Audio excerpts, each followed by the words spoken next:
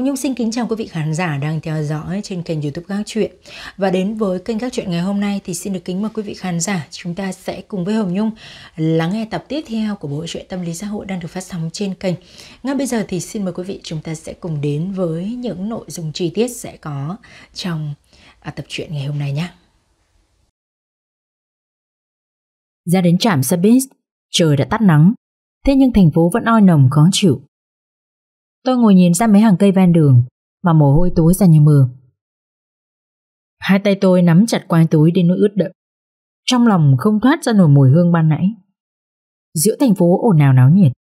Vậy mà bây giờ, giây phút đấy tôi lại tưởng như mình đang đứng ở giữa một núi đồi hoang vu.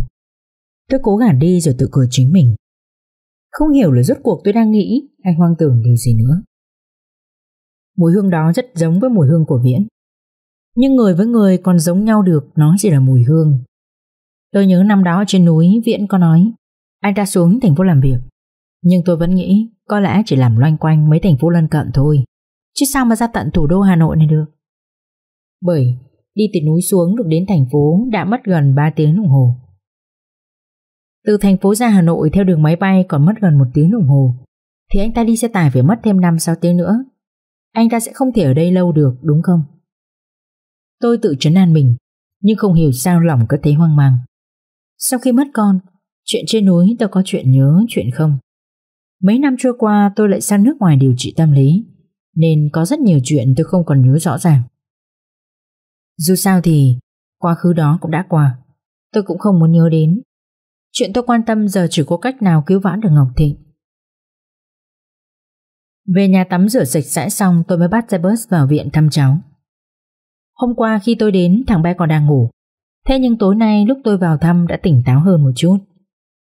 Vì phòng ICU quy định khá nghiêm ngặt, Nên lúc tôi vào thì chị Nhu cũng ra ngoài mua cháo, Chỉ có tôi và anh trai trong phòng. Sắc mặt thằng bé vẫn tái nhợt, Nhưng đã không còn thiếu sức sống như ngày hôm qua. Mặt nạ oxy đã được thay thế bằng ống tùy. Vậy nên người cắm đầy di dợ nhằng nhịt. Lúc thấy thôi, Ánh mắt thằng bé đột nhiên sáng lên rồi nói nhỏ. Cháu chào cô Ngọc. Tôi nghe thằng bé thoáng ngẩn người và bật cười hỏi. Chưa gặp bao giờ mà biết là cô Ngọc rồi sao? Mẹ cháu bảo, Cô Ngọc là người mua đồ chơi cho cháu. Bố cháu Còn cho cháu xem ảnh của cô nữa. Cô Ngọc rất là xinh. Lần này tôi còn kinh ngạc hơn. Một thằng bé mới chỉ có hơn 3 tuổi, Nhưng nói chuyện danh mạch, Lưu loát đến bất ngờ anh trai tôi ngồi cạnh thì lắc đầu nói. Cũng không biết là nó giống ai, Mà lẻo mép như thế. Bác sĩ còn nói, Nhìn nó bé như cây kẹo, Nhưng cái gì cũng nói được. Nó liền đáp lại. Mẹ bảo con giống bố mà. Thấy Nam nói như vậy, Tôi và anh trai không nhịn được cười và nói tiếp. Mặc dù trong hoàn cảnh chứa chiêu thế này, Lòng ai cũng đầy dẫy những lo âu và bi thương nhưng vì có một đứa bé ngây ngô đáng yêu khuấy lên cho tất cả mọi người một niềm vui nho nhỏ. Giống như ánh nắng giữa màn đêm u tối, tôi đưa tay chạm lên mấy ngón tay nhỏ bé của cháu mình, lặng lẽ nhìn dây dọ kim truyền cắm sâu vào da thịt và hỏi Nam còn đau nữa không? Nam nhuyễn miệng cười để lộ ra hàm răng trắng tinh lễ phép và trả lời Nam không đau nữa rồi cô ạ anh trai tôi giọng hơi nghẹn đi, Rồi khẽ nói. Mẹ nó bảo từ nhỏ phải tiêm truyền nhiều, Nên nó cũng đã dần quen. Thằng bé rất hiểu chuyện, Rất ít khi nào than vãn, Hay kêu ca. Thậm chí lúc bác sĩ bảo tiêm, Còn đưa tay ra không khóc lóc một chút nào cả. Rõ ràng là anh trai tôi đang khen Nam, Vậy mà tôi lại thấy chua xót vô cùng. Thằng bé càng hiểu chuyện, tôi lại càng cảm thấy đau lòng. Mới có mấy tuổi thôi. Tôi đã phải chịu biết bao nhiêu đau đớn Khổ sở, bệnh tật dày vò. Suốt 3 năm trời không biết bố mình là ai. Hai mẹ con nương tựa vào nhau sống qua ngày. Tôi đau lòng một Có lẽ anh trai tôi còn đau lòng gấp 5 Gấp 10 lần. Nghĩ đến anh trai Lại nghĩ đến chuyện cả ngày hôm nay Tôi chưa giải quyết được gì. Lòng tôi càng thêm nặng trĩu. Thế nhưng giờ anh tôi còn đang phải lo cho con nên tôi chỉ đành nén tất cả trong lòng và nói tiếp. Ngồi nói chuyện một lúc, Thì chị Nhu cũng lên. Trong phòng không được có quá ba người. Nam lại muốn được mẹ lau người cho, Nên dù lưu luyến, tôi cũng chỉ đành đi về. Lúc đứng dậy, thằng bé còn vẫy tay và bảo với tôi. Mai cô Ngọc lại vào chơi với Nam nhé. Tôi nghe vậy cũng tươi cười. Vuốt mái tóc của cháu rồi đáp lại. Ừ. Ngày nào cô Ngọc cũng sẽ đến. Đợi Nam khỏe lại, Cô Ngọc sẽ dẫn Nam đi thăm lăng bác, Đi mua đồ chơi, có được không nào? Dạ được ạ. Khi ra đến hành lang bệnh viện, Anh trai tôi cũng theo ra. Bầu trời Hà Nội mùa hè Dù là đêm vẫn rất ngột ngạt. Khi chỉ còn hai anh em tôi đứng ở dãy hành lang rộng lớn, Anh mới bảo tôi. Hôm nay anh đi đóng viện phí cho Nam. Thì nhân viên y tế nói, Viện phí của Nam đã được Vinh đóng ra rồi. Số tiền anh gom được, cậu ấy nói, Để lại, sau làm phẫu thuật cho Nam. Anh đã tìm cách trả, Nhưng Vinh, cậu nhất định không nhận.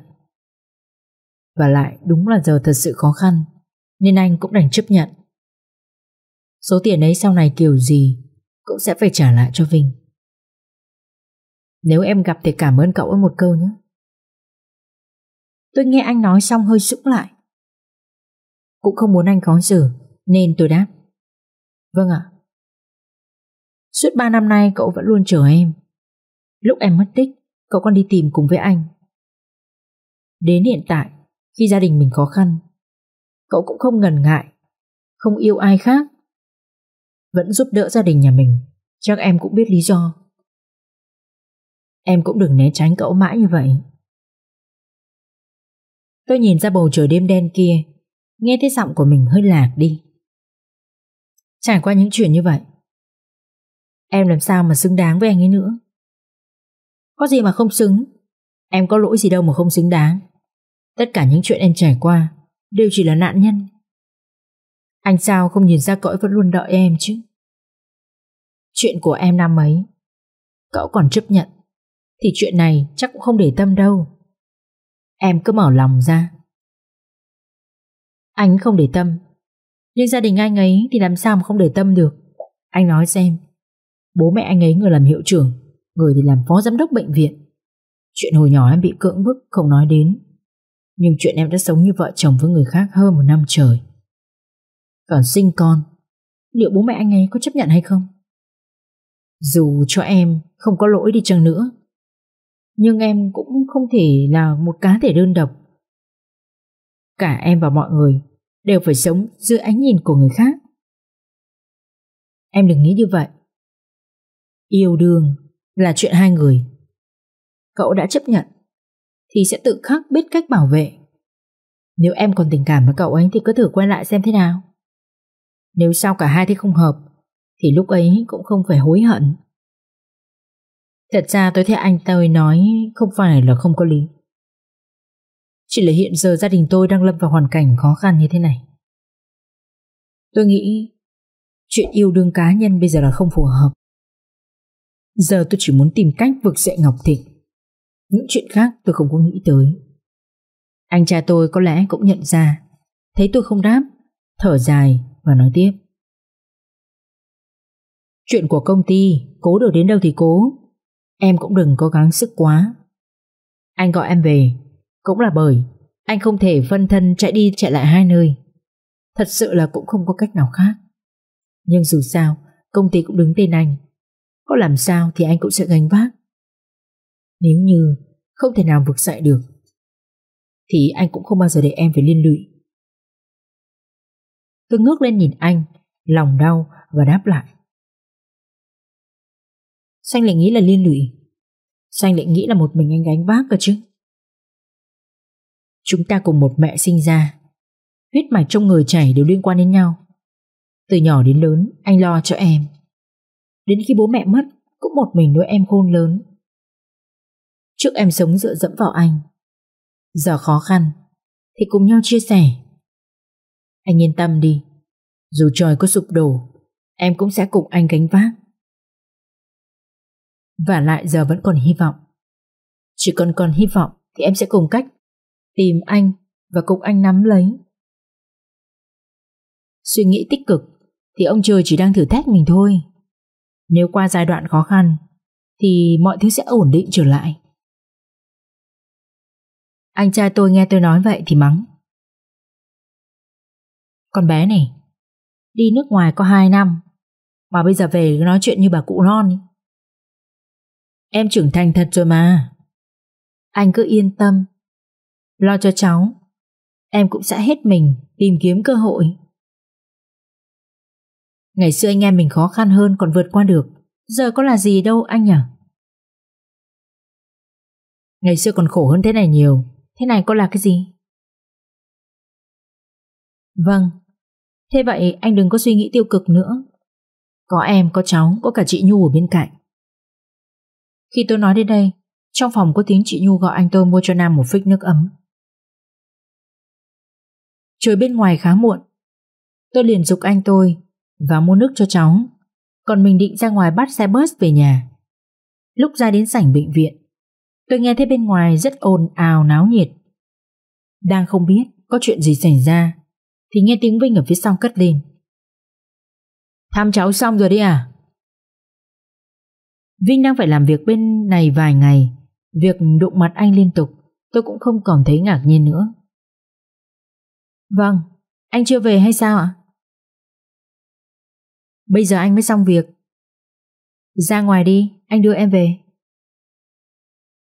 Bên ngoài trời đã tối. Chuyện Vinh đóng tiền viện phí cho cháu tôi, tôi cũng muốn nói lời cảm ơn với anh. Nên không từ chối nữa cùng anh ra ngoài. Lúc ra đến sân, tôi thấy ồn ào, náo nhiệt càng lúc càng lớn. Còn thấy một đám đông người tụ tập quanh sân Tôi không kìm được và hỏi Vinh. Tối nay ở bệnh viện có chuyện gì hả anh? Anh nghe nói tối nay có ca sĩ Minh Châu về đây trao quà cho các cháu nhỏ trong viện. Còn có cả biểu diễn nghệ thuật tiện nguyện nữa. Nên những cháu nhỏ không phải nằm trong khu ICU Hay khu cách ly Đều được phụ huynh dẫn đến xem. Minh Châu? Nghe tôi hỏi vậy, vĩnh liền cười và hỏi lại. Em có muốn đi xem không? Dù sao bây giờ cũng vẫn đang còn sớm, Anh không vội về làm cái gì cả. Ban đầu còn tưởng Minh Châu Chỉ là trùng tên, Không ngờ người nhắc đến chính là người ăn chung, Ở chung với tôi gần 2 năm nay. Nhìn thấy cô ấy, tôi tự dưng không kìm được bật cười. Cô ấy ngồi ngay giữa sân, Bên cạnh gốc cây bằng lăng nhỏ, Vừa đánh đàn vừa hát ngân nga. Xung quanh đám trẻ con thích thú vỗ tay. Vinh đứng cạnh thấy tôi cười. Ánh mắt chợt ấm lên đôi phần và bảo, Em cũng thích ca sĩ này. Trước kia cô khá nổi tiếng ở trên mạng. Nhưng sau đó không rõ lý do gì Mà không xuất hiện một thời gian dài. Đến vài tháng nay mới bắt đầu hoạt động mạng trở lại. Đến hôm nay cùng đoàn tổ chức thiện nguyện bệnh viện này. Nếu em thích cô ấy Thì lại xem đến cuối chương trình rồi xin chữ ký. Cô ấy có vẻ cũng rất thân thiện hòa đồng. Tôi không đáp. Chỉ gật đầu và lặng lẽ nhìn. Tiếng trâu ngân lên giữa không gian tĩnh mịch. Không hiểu sao khi nghe đến đây, Tôi bỗng cảm thấy giống như có cơn gió xào xạc thoảng qua. Trong phút chốc, Tôi tưởng mình như đứng trên một thảm cỏ đầy cỏ xanh hoa biếc. Trên trời là tiếng chim hót lảnh lót. Dưới chân là con đường đầy sỏi đá. Còn có cả mùi hương núi đồi theo gió bay qua. Bên cạnh có mấy người phụ huynh khẽ bàn tán nhau. Cô ấy vẫn hát hay như là trước kia. Nhưng sao cảm giác trong lời bà hát không còn trông trẻo và ngây ngô nữa nhỉ? Mấy năm qua tự dưng cô biến mất, Không rõ trải qua chuyện gì.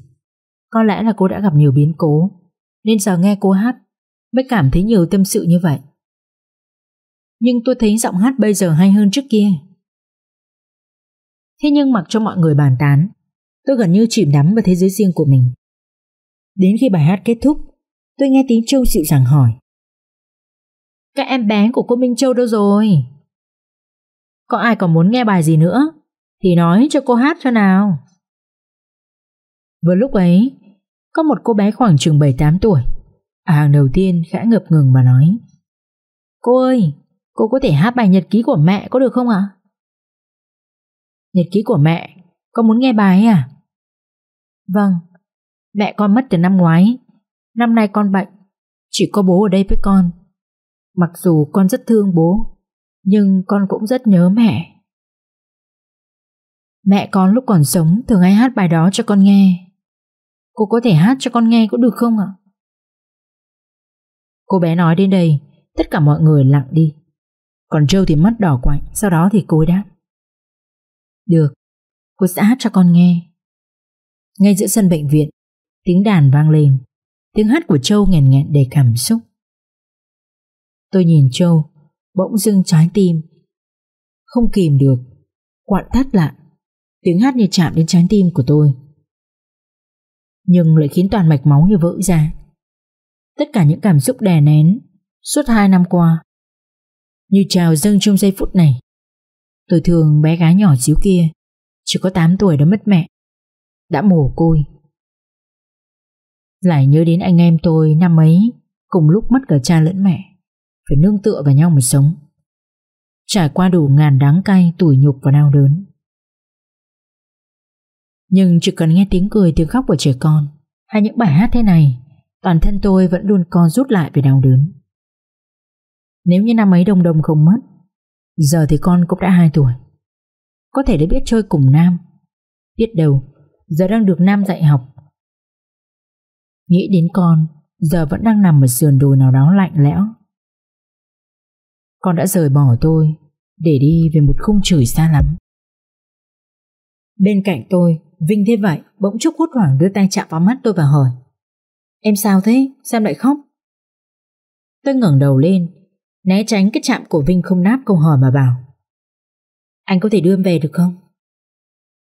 Em không muốn xem nữa à? Vâng Em hơi mệt Nên em muốn về nghỉ. Thế để anh đưa em về. Nói rồi Vinh kéo tôi lách qua đám đông Để ra bãi đỗ xe. Đi qua gốc cây bằng lăng Tôi thấy mùi hương gỗ sọc lên. Chỉ có điều lúc này tôi cũng không để ý gì nhiều. Còn tự cho rằng Mình liên tục bị hoang tưởng Nên lặng lẽ theo Vinh ra xe. Ra đến xe tôi thấy cũng bình tĩnh trở lại Cố gắng sốc lại tinh thần. Nhưng vẫn cảm nhận được khóe mắt mình cay ướt. Vinh cũng không hỏi thêm gì nữa. Chỉ vừa lái xe vừa nói. Trong viện có rất nhiều hoàn cảnh.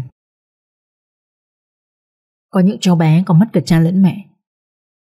Vừa bị bệnh, Lại vừa mồ côi, Thật sự là rất xót xa. Vâng ạ. Chân em có đau nữa không? Không sao. Chỉ là vết thương nhỏ thôi Vết thương nhỏ em càng phải giữ gìn Em nhớ bôi thuốc vào cho nó nhanh lành nhé Em biết rồi Cảm ơn anh Vinh thấy tôi lại nói mấy lời khách sáo thì sắc mặt lộ rõ sự không vui. Nhưng sau anh liền chuyển đề tài. Buổi trưa, bệnh nhân cấp cứu va vào em mới chỉ có một buổi. Bệnh nhân đó tít ở trên tận núi cao, bị viêm phổi, mà gia đình cứ để tuyến huyện chữa trị. Đến khi đưa vào viện tỉnh thì đã nặng, mà điều kiện cơ sở vật chất ở tỉnh đó cũng không được tốt cho lắm. Chú ruột của bệnh nhân đã bắt chuyển tuyến ra ngoài trung ương này trong tình trạng nguy kịch. Thế nên mới có chuyện va chạm như là trưa nay vì tình trạng đứa bé như thế Nên gia đình cũng bối rối Không kịp xin lỗi em Khi nghe Vinh nhắc đến vùng núi cao Tôi bất giác không kịp được và hỏi Vậy bây giờ Đứa bé đấy như thế nào rồi ạ? Đứa bé đã được đưa đi cấp cứu Nên đã ổn định, Nhưng hoàn cảnh của đứa bé rất là đáng thương. Nghe nói mẹ đứa bé hiếm muộn. Năm sáu năm gì đó mới mang thai, Nhưng bị rau tiền đạo. Dù đã ra viện tỉnh để sinh con, Nhưng lúc đưa bé ra, Bị băng huyết cấp cứu không được, Nên đã mất ngay sau đó. Đứa bé sống với bố trên núi, Nhìn người chú rất có điều kiện. Thế bảo đôi lần Muốn đưa cháu mình xuống, Nhưng bố nó không chịu. Cũng đúng thôi. Mất vợ rồi giờ còn mỗi đứa con. Ai mà nỡ để con xa mình? Nhất là những vùng quê hay miền núi nghèo khó. Họ thường có tư tưởng còn rau ăn rau có cháo ăn cháo, Chứ cũng không muốn thay đổi môi trường sống. Lòng tôi bỗng chốc nặng nề như có tảng đá đè vào. Có lẽ bởi vì tôi cũng là phụ nữ cũng đã trải qua ranh giới của sự sinh tử. Còn tôi khi sinh ra mất đi Còn hoàn cảnh mà Vinh nhắc đến Thì con sống mẹ mất, Tôi thấy thương cảm vô cùng. Mãi một lúc sau, Tôi mới thở ra một hơi Và quay sang nói với Vinh. Nghe anh Thịnh nói, Anh đóng viện phí giúp cho cháu, Cho em rồi ạ. Anh xem cháu như người nhà, Nên cũng muốn giúp đỡ một chút. Ngọc Thịnh giờ rơi vào khó khăn, Nên anh cũng mong Em đừng từ chối. Giếng đèn đường sượt qua, Tôi bỗng cảm thấy gương mặt Vinh trở nên xa lạ. Rõ ràng đã từng yêu nhau một thời gian dài. Tôi từng say đắm cái vẻ đẹp trai thư sinh của anh. Vậy mà bây giờ gặp lại, tôi cảm thấy như chưa từng quen biết. Tôi hít hà một hơi sau đó đáp. Cảm ơn anh. Số tiền ấy, Sau này nhất định anh sẽ trả lại. Vinh không nói gì nữa. Nhưng tôi thấy ánh mắt của anh hơi sầm xuống. Mãi đến khi xe về đến cổng biệt thự, Anh mới bảo tôi. Mai anh được nghỉ. Sáng mai sẽ qua đón em đi ăn sáng. Mai em có việc bận rồi. Thôi, em hẹn anh hôm khác nhé Thế mai em đi đâu để anh đưa em đi? Không cần đâu ạ. Em đi xe bus cũng được. Mai em còn phải đến vài công ty. Có lẽ sẽ là đi cả một ngày. Còn chưa kịp nói hết câu Vinh đã ngắt lời. Đằng nào mai anh cũng chẳng làm cái gì hết. Lâu rồi viện mãi cũng bí bách Làm tài xế cho em đi tiện đượn đường luôn. Hà Nội nắng như thiêu như đốt thế này. Đi xe bus không tiện. Quyết định như thế nhá, Em vào nhà đi Sáng mai sẽ đến đón em. Tôi không có cách nào để từ chối. Đối diện với sự nồng nhiệt của Vinh Tôi cũng chỉ đành đồng ý. Lòng rất khiên cưỡng. Đến khi vào trong nhà, Đợi xe của anh rời đi, Tôi ngồi bệt xuống nền nhà và bất lực. Tại sao đến khi tôi trở về rồi Mọi thứ vẫn cứ luẩn quẩn, không dứt? Tại sao tôi không thể mở lòng ra? Tại sao mọi thứ vẫn không thể nào quay lại như trước kia? Loại tâm lý này có lẽ đến thuốc hay thời gian, Sự điều trị của bác sĩ cũng vô dụng. Anh trai tôi bảo với tôi phải mở rộng trái tim ra, Mà nhìn thế giới bên ngoài. Thậm chí hãy thử tiếp nhận sự quan tâm của mình. Tôi từng nghĩ đến, Nhưng thật sự không có cách nào. Không phải tôi không muốn trở về như xưa, Mà tôi cũng bất lực. Trái tim tôi có lẽ đã có quá nhiều lỗ hồng mà dù cho có nhiều tình thương hơn nữa, Nhiều sự che chở hơn nữa Cũng không thể lấp đầy lỗ hồng Ngồi dưới sàn nhà một lúc, Tôi cũng thấy điện thoại có tin nhắn. Mở ra mới biết là tin nhắn của Châu. Vội về thế, Còn không kịp đợi tôi nữa. Nhận được tin nhắn của cô ấy Tôi bất giác thấy lòng dịu đi đôi chút Có lẽ bởi chúng tôi giống nhau Ngay từ đầu gặp đã thấy tâm linh tương thông Hôm nay tôi đứng ở xa như vậy còn ở giữa rất nhiều người mà Châu vẫn nhận ra. Tôi cầm điện thoại, loạn trọn đứng dậy, đi về phía phòng rồi nhắn lại. Tôi hơi mệt, muốn về nghỉ ngơi. Mệt mà có trai đẹp ở bên cạnh thì tôi cũng muốn. Thế cái giọng điệu nhả nhất của Châu tôi không thèm trả lời. Cuối cùng cô vẫn nhắn lại một tin khác. Ngủ ngon nhé, đừng khóc nữa. Rõ ràng là an ủi, Vậy mà mắt tôi lại cay cay Rốt cuộc Trong bộn bề cảm xúc chơi vơi lẫn lộn Vẫn chỉ có duy nhất mình cô ấy Khiến tôi vui Sáng hôm sau Tôi dậy đánh răng rửa mặt xong Đã thấy Vinh chờ mình ngoài cổng Tôi ôm sắp tài liệu Vừa ngồi trên xe Vinh đã đưa cho tôi một bánh bông lan trứng muối Một hộp sữa Rồi nói Vì sợ em bận Nên anh chỉ dám mua đồ ăn nhanh gọn thế này Dù sao bữa sáng cũng không nên bỏ còn anh, anh đã ăn cái gì chưa? Anh cũng chưa ăn gì hết. Anh mua hai cái để mình cùng ăn. Tôi nhìn Vinh, chợt thấy anh vẫn là anh của trước kia. Chỉ có tôi không còn là tôi của ngày yêu anh. Cả tôi lẫn cơ thể tôi đều đã tan nát tình trăm mảnh. Nhưng giờ tôi cũng không muốn nói mấy lời khách sáo hay suy nghĩ quá nhiều về điều này nữa. Sau khi ăn xong, Điền đọc địa chỉ công ty Lâm An cho Vinh.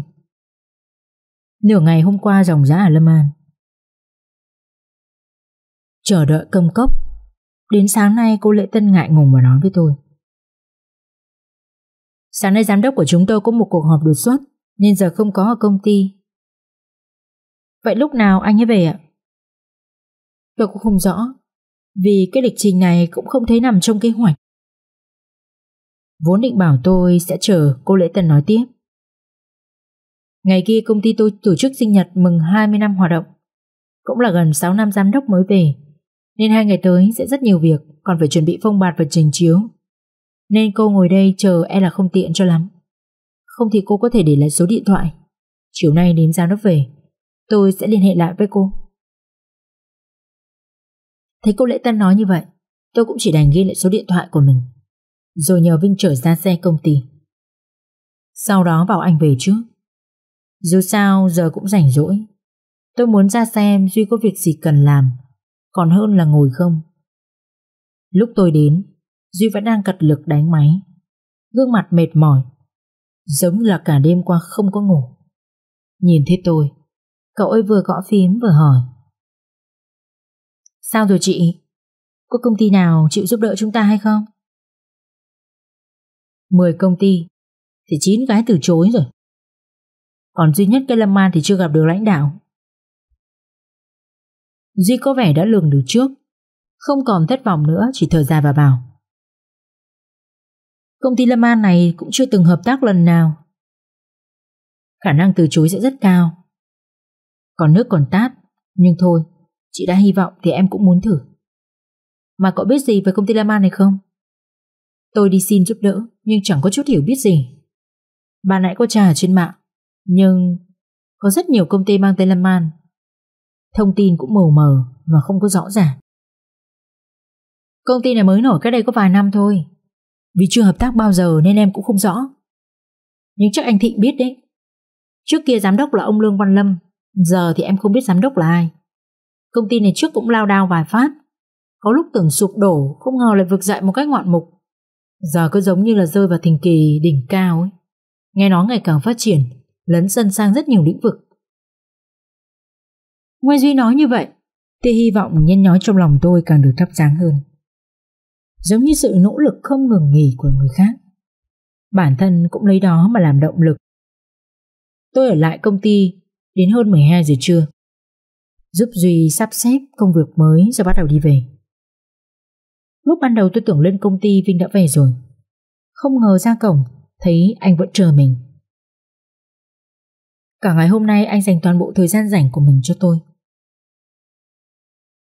Còn chờ tôi như thế này, tôi không thể không mời anh ăn một bữa cơm. Tôi và Vinh đến trung tâm thương mại gần đó, chọn một nhà hàng trên tầng 3 để ăn cơm.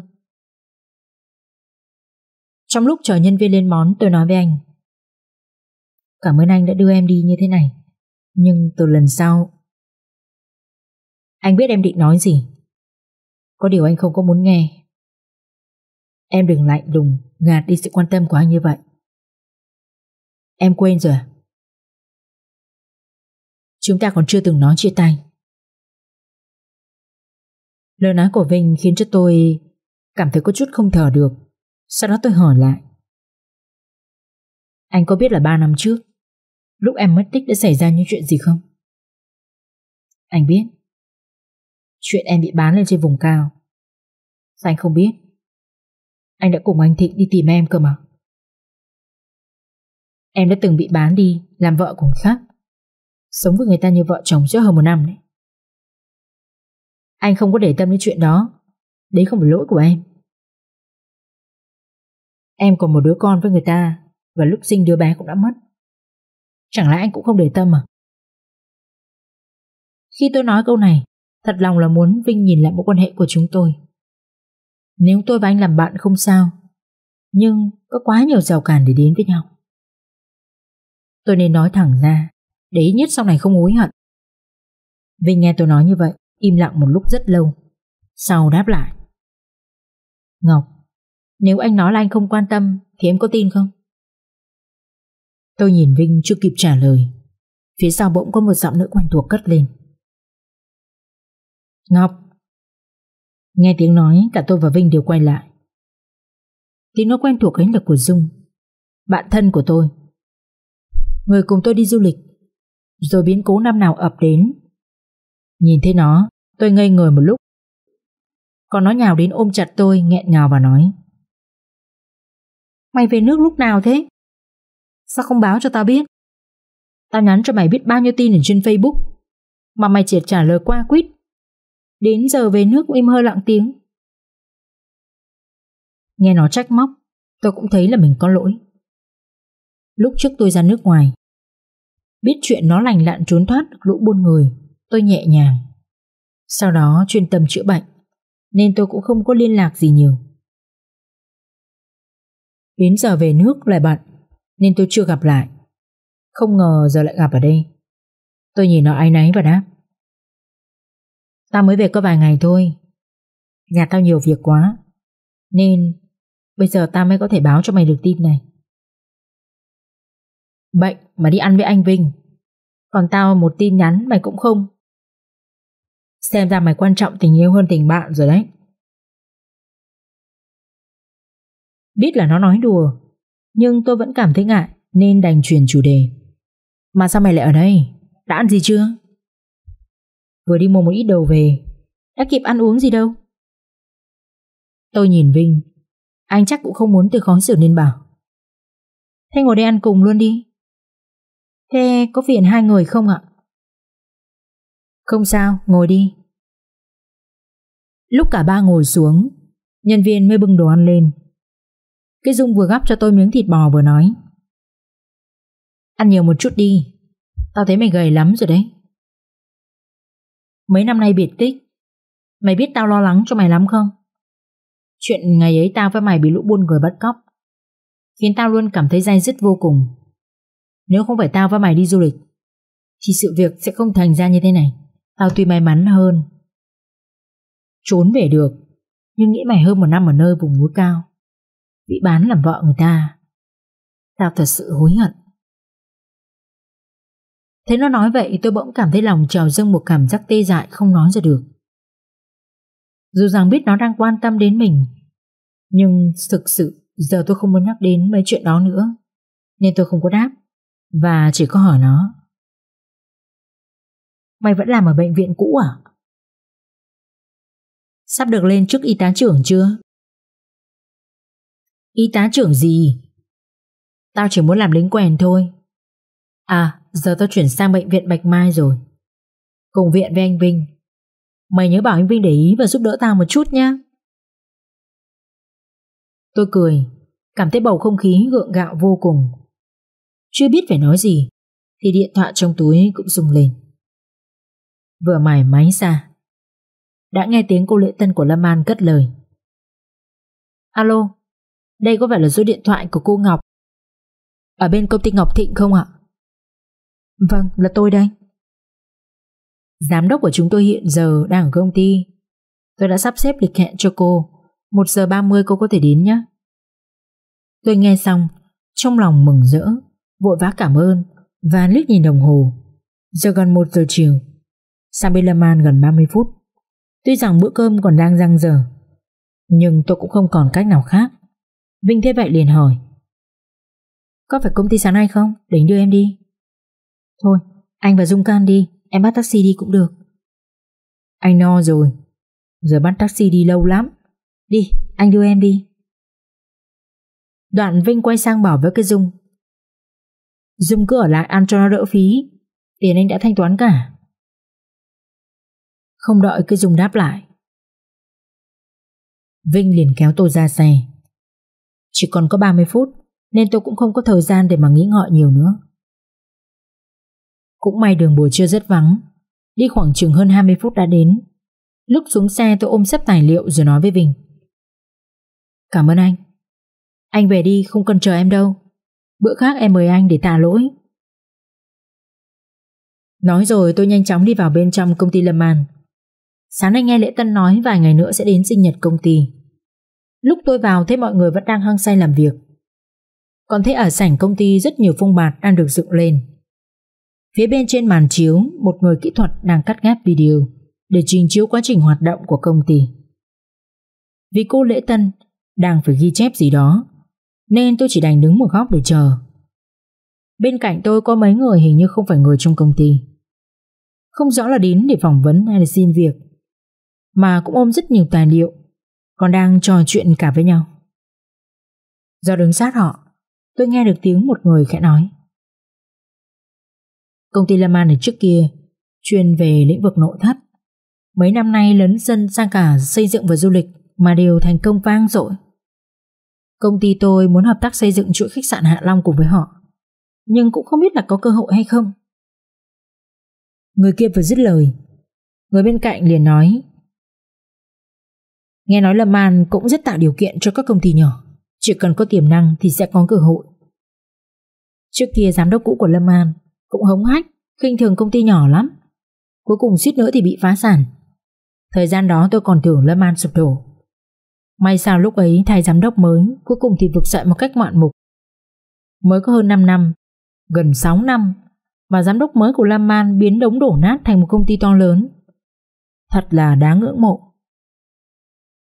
Phải nói là tuổi trẻ tài cao. Cậu giám đốc mới này Rất nghị lực và phi thường. Nỗ lực một phần, Nhưng cậu ta cũng giỏi và gặp thời nữa. Tôi còn nhớ cách đây hơn 3 năm Lâm An mới chửi vượt qua được khó khăn. Lúc đó cũng bắt đầu ổn định dần Nhưng chưa rực rỡ như bây giờ.